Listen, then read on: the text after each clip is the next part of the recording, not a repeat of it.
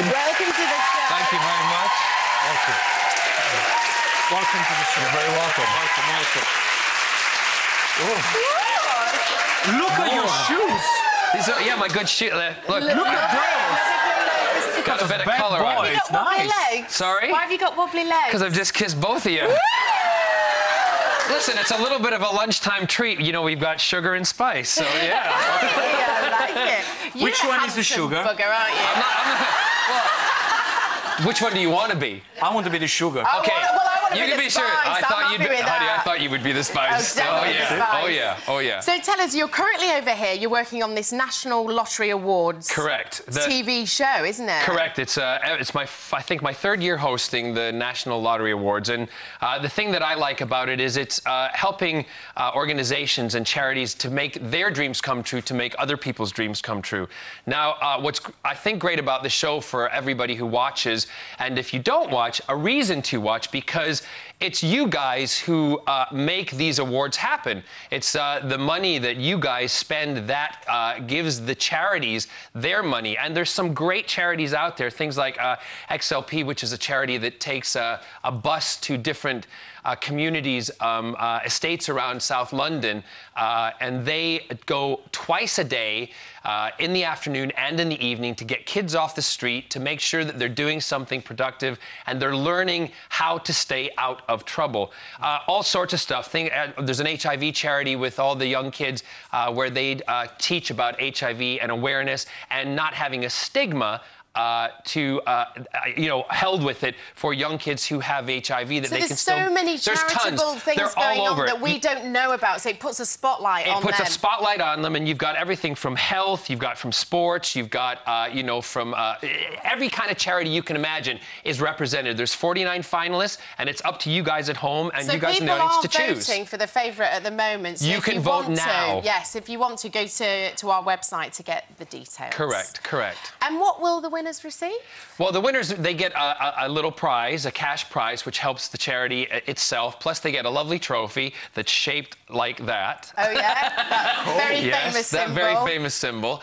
Um, so yeah, and also to get here, they have received lottery funding. And what's really interesting, once a lot of the charities win the uh, uh, the award and the accolade, the, they get a lot of phone calls from people. So it's like even if they don't win in their category.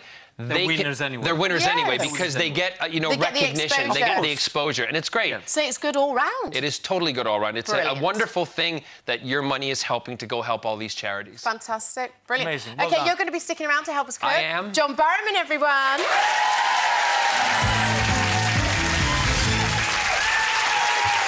Now, you're good in the kitchen, right?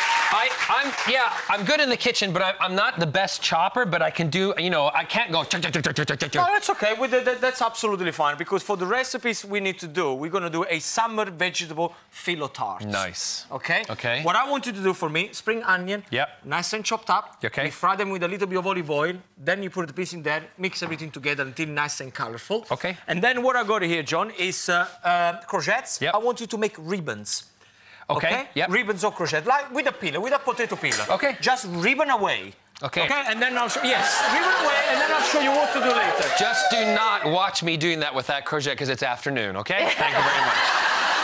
Now, Mel, we need to prepare the paste to go onto the phyllo pastries. Yeah. To prepare the paste, I got yourself a egg yolk with a, a a little bit of creme fraiche, Parmigiano Reggiano, and chopped parsley, a bit of salt and pepper if you can create the Perfect. paste for me. Are you okay? What I'm you fine. Yeah, no, nothing. I just realized I licked my finger, and I shouldn't probably lick my finger. It's okay, we are the only one to taste it. Good, it's that's fine. fine. Yeah. Um, now, what's happened here? I got uh, phyllo pastry, okay? Very easy to prepare. I'm going to show you how to make sure that the phyllo pastry is nice and crispy, one on top of each other. Okay. So you get the first... Yeah, are you all right? No, no, it's fine. It's a wobbly pot. You get your uh, um, first um, sheet of pastry, and it goes... a what? The bottom on Do you know, every time he says it, I have nearly out failure. just... I don't, I don't, I don't know if I'd like the taste of that. one.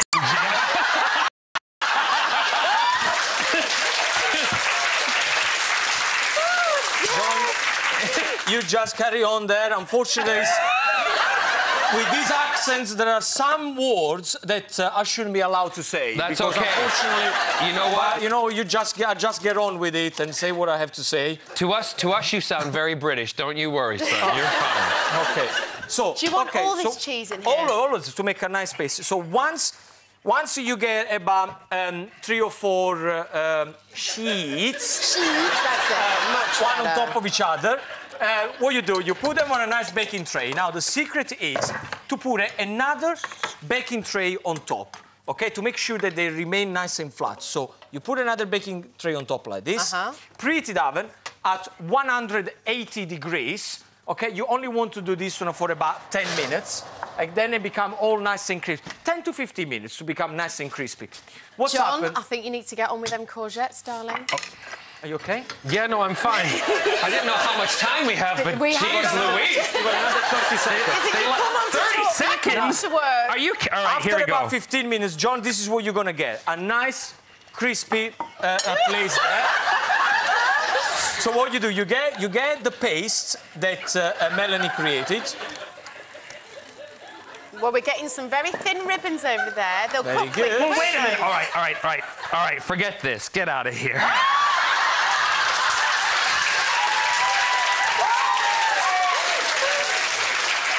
That's fine. That's fine. You, pr- you Is that a good ribbon?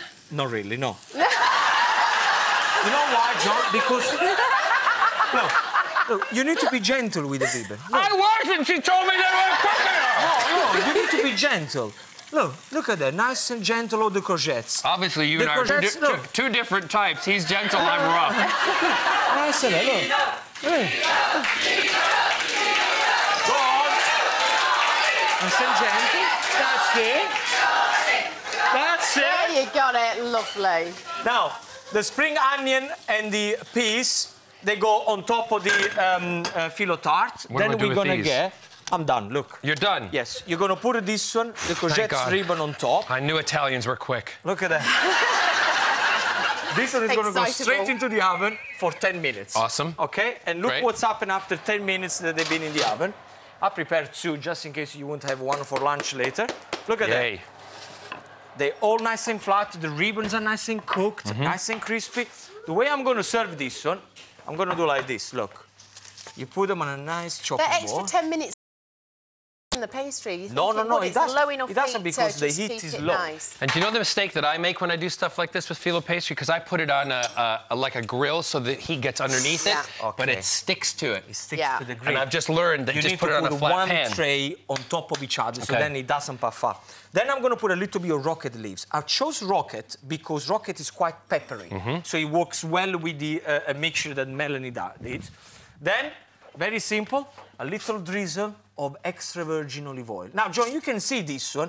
You have in a branch a nice glass of champagne, okay? That for me is that for me is an, a snack that goes great with like a, a vodka soda. Uh, Wow, yeah. Sitting at home at cocktail hour about five or six o'clock. Fabulous. Yep. Look at that. A little bit of salt, a little bit of black pepper. Guys, this is how you make summer vegetable filo tart. You know Very pretty. What I love about Gino? I love about Gino when he's done with some, something, he goes, "That's what it is. It's a summer filo vegetable tart." it's, it's the, it's the, it's, no, it's the, it's the stand back. It's the pride in your food. I love that. Because the food Get is the stuck most in. important things on the show. I love and that. that's, and you need is. to give it the respect to the food, and I, I'm very passionate about that. as Well, you can but see. food for like for instance, I always say food is food in your family. Food is love. It is Yes, indeed. it I mean, you can you can also say I'm just going to pick it up, Gino. Oh, this is the best way to do Oh, it. I'm going to do exactly the same thing. I know that it's messy, but we don't care unless you lunch. Oh, that is so good. Isn't it delicious? Hmm. That lady was being polite, you know, doing this thing. Good, it's good. No, it's really good. You, you like it? What do you think? It's Very great. good. Delicate, nice. It's got a nice little bite to it. The peppery rocket, and even with the salt and the the, ch- the cheese, is it? Yeah. Yep, it's Yeah. a paste that we created with uh, That creme paste is delicious. Well, we have a winner. Still to come, find out today's surprise challenge for Gino, but now it's competition time. Holiday like a true Italian on the stunning beaches of Sardinia. Relax with